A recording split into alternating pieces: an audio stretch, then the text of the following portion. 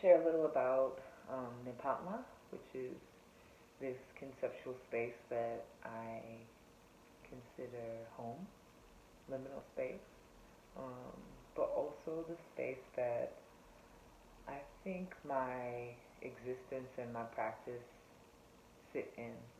Um, and the word Nepantla is an indigenous Nahuatl word that I was exposed to by way of Gloria Anzaldúa's literature. Um, first the text Borderland, later this bridge we call home. Um, and I'll just say a bit about the concept. So from the indigenous language Nahuatl, Nepantla means in the middle of it and is described by Anzaldúa as the overlapping space between different perceptions and belief systems. I see Nepantla as reflective of essential truth, contrasting coexistence. The simultaneous presence of elements seen as separate and or competing or contradictory. As a person of black African and white European descent, this conceptual frame feels familiar to me. It feels like home, and consciously occupying this complex racial and cultural space has provided countless opportunities to deepen my understanding of myself and the world around me. In her book In the Wake on Blackness and Being, Black Studies and English Literature scholar Christina Sharpe gives language to the multidimensional aftermath of the transatlantic slave trade. The Wake. Sharpe uses the wake as a means of understanding how slavery's violences emerge within the contemporary conditions of spatial, legal, psychic, material, and other dimensions of black non-being as well as in black modes of resistance. In the same way that being a so-called mixed race black person is at the core of my black American experience, Nepantla is the precise location of my personal experience of living in the wake. There are many ways black historians and scholars have made sense of this concept across time. W.E.B. Du Bois terms the complex state of mind typically experienced by black Americans double consciousness. As Du Bois describes it, the Negro is gifted with second sight in this American world. It is a peculiar sensation, this double consciousness, this sense of always looking at oneself through the eyes of others, of measuring one's soul by the tape of a world that looks on in amused contempt and pity.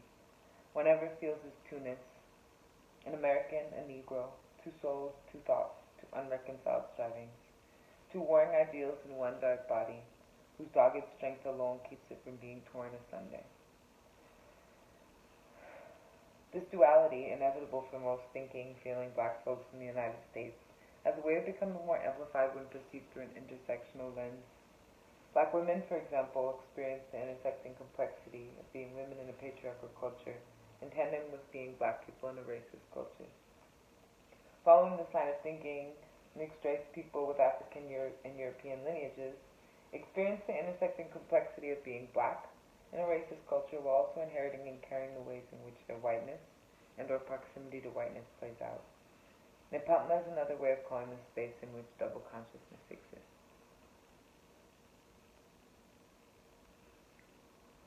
And so, um, in response to living in a world that has and okay. so I grew up in a very white suburb just shy of 10 miles north of Boston, uh, which is itself an incredibly segregated and uh, I find pretty conservative city. Um, and I was born to a European American mother and an African American father um, in 1984 in northeastern United States. And there was not space carved out for someone like me to exist um, in uh, any kind of complete or full way. Was a highly normative place, a very suffocating, stifling, uh, ignorant, limited, um, xenophobic, homophobic, racist, sexist. Um, yeah, a stew of things, and I felt very different from a young age, and um, I did feel very much in the caught in a space between and experienced that as a challenge, as a negative, as a struggle, um, at least until I got out of that city and was able to find some more people who felt reflective um, and to have teachers